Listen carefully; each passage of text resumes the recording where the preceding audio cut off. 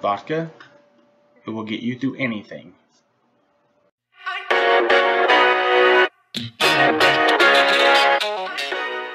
So it's Tuesday. I know I've been in MIA for a couple weeks now, or week and a half.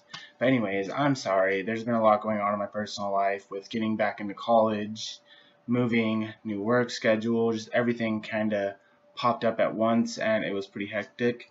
But I'm back for good now. No more missing videos, I promise, unless I'm sick, because I don't like doing things when I'm sick. But this week's topic is school survival. Like I said, vodka pretty much got me through all of schooling, and it's probably going to get me through the rest of my college career. I mean, it's a necessity. Like, I need it. But if you don't drink, um, I guess you can rely on good friends. They're nice to have. People who are going to back you.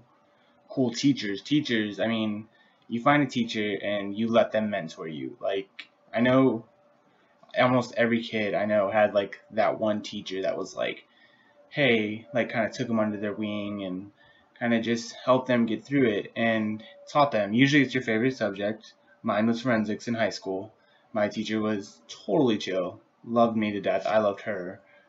That's weird, but we were super good friends. Like we just had that bond, you know, where she understood me and I understood her and she was kind of like, "Hey, Cody, you probably shouldn't do that because you're probably going to get in trouble." And I was like, I don't care. And then she'd be like, Cody, and I'm like, I know, I'm sorry.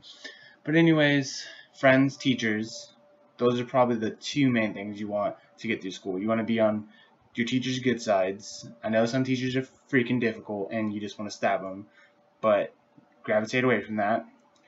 You also want cool friends who are like, hey, don't mess with my friend because when people mess with my friends, they die.